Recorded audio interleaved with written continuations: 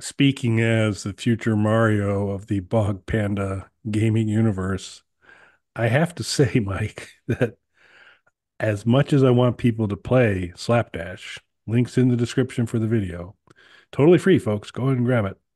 Um, as much as I want many, many people playing Slapdash, I am skeptical that there's going to be a lot of them playing Slapdash on the Analogue Pocket. Uh, what do you think?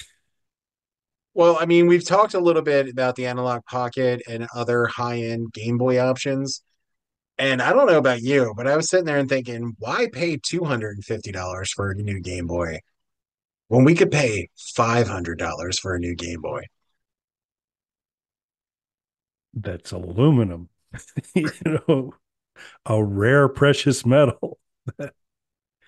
Clearly, I could maybe understand if this was like gold or maybe platinum, even copper, maybe. but aluminum, I can melt Coke cans in my on my little forge and get you a, a case made for that. But yeah, it um so it it's a, a limited, you know, they're it's what they do. It's like, hey, we've got a new edition out here. It's super limited to kind of get that fear of missing out going on, folks. So there's not going to be many of them out there, but you can get your own Analogue Pocket. So it's going to be super high end, high quality stuff encased in nearly indestructible, highly valuable aluminum uh, for a mere $500, which, if my math is right, is two um, Evercade Alphas, right?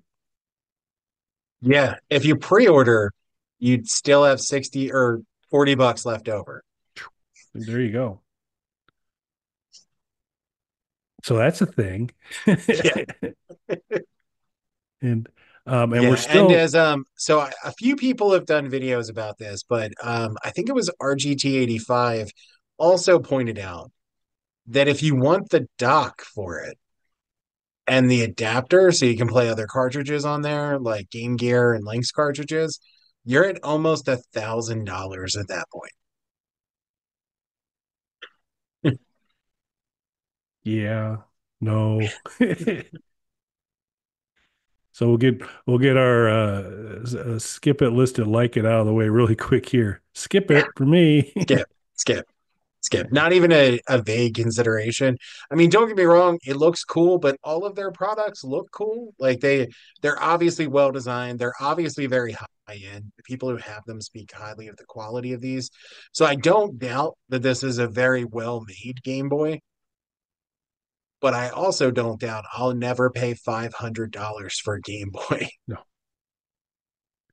no, there are many other cost-effective solutions for you to play slapdash, folks, than the than the the Analogue Pocket. So go for those. Uh, but uh, yeah, it um, I guess there's a I guess there's a market for for this, It- but I just you know particularly. I mean, I'm waiting for their Nintendo 64, which I can only imagine Well, if that uh that was the other thing that I wanted to bring up. So when we were talking before, when we were talking about the Warrior 64, one of the things I was on the fence with with that was, do I wait and see how much the Analogue is? But then I thought about it, I'm like, their Game Boy is $250. There's no way this is coming in under 300. It's probably going to be more like 400. Well, now they have a $500 Game Boy. So who knows where their Nintendo 64 is going to land. But I can guarantee you it's way more than I paid for my Warrior 64, which all in for the system and controllers, I'm at about 200 bucks on that, which is less than I paid for my wife's Nintendo 64 when you factor in that I had to buy an adapter and I bought an upscaler for that separately. So way less than that. I'm happy with my purchase. I was just playing my Warrior 64 prior to recording this. I just picked up Castlevania 64, and I'm just gonna spoiler it for everybody. I think that's a misunderstood game. I've only ever seen negative things about it. I'm having a lot of fun so far. But that's not the point. The point is, I'm glad I didn't wait for their Nintendo 64 because I guarantee I'm not paying whatever it is that they're asking for it if we're up to five hundred dollars for a Game Boy, and again, nearer to a thousand if you want the the dock and the adapters for it, there's no way that I'm putting out a thousand dollars or anywhere in that range for a Nintendo 64. Yeah, and I I mean I understand like people get you know designer handbags and kind of kind of show show off. I am I'm of the means to get the best qualities out there and all that that kind of thing. You same thing with vehicles sometimes. Um, I I don't know who's going to be super impressed to say, "Wow, you've got a five hundred dollar Game Boy." It's just, it just I don't think that's going to give you any cachet. I, I I could be wrong. Uh, folks in the comments, let us know if we're misreading this situation entirely. Um, but it just seems, um, it just seems crazy that that if if you're going to have, I mean, and again, their products look fantastic, visually appealing, Yeah, this quality. I I think it's fair to say that we're not saying we don't think quality wise that this is going to be a good product because pretty much universally people have have spoken of how good and how high end their products are.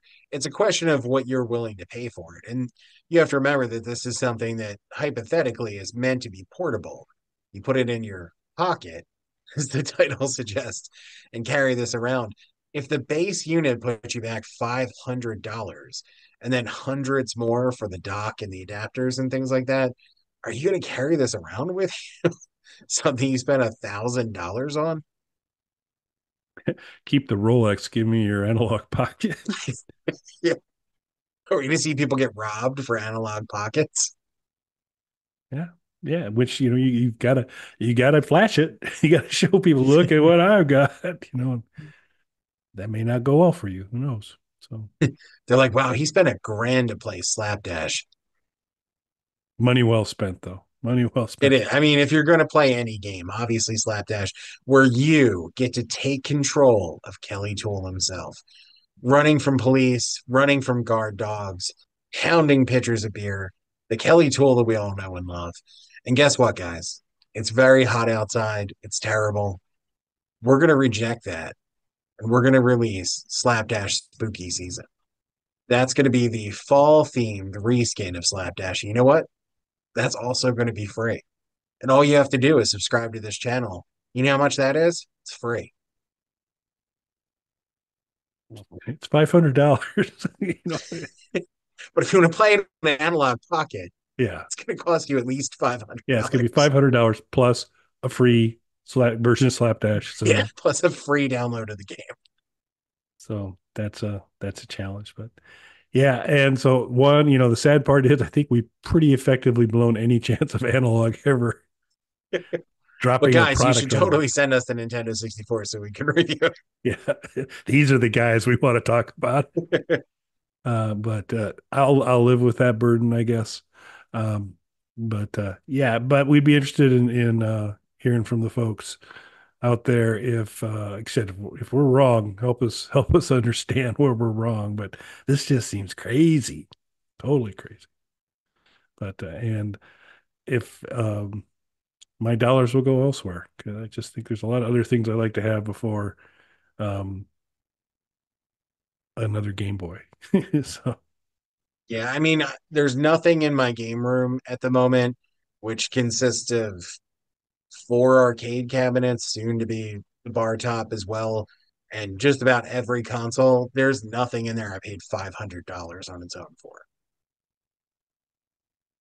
Yeah, even your AtGames Mini, the Legends Ultimate Mini, was under that price point. So yeah, that was less than five hundred dollars as well, with the pinball kit and everything. Yeah. So we're open to learning where we're wrong, but we we don't think we are. but uh, anything else, sir? No, I mean, I think we covered it. Again, I think the only way we can really understand this company better is if they send us their Nintendo 64. Yeah, sure. to- totally then, then maybe we can we can see what the hype is all about yeah. and better inform the panda army yeah. and obviously i know Analogue's going to want that as well they, they need the panda bump so and anybody watching this who can help us bring Slapdash to Nintendo 64, let's make Slapdash 64 a reality. Yeah. That would be awesome. Cool. All right. Well, thanks for watching, folks. Thanks, everybody.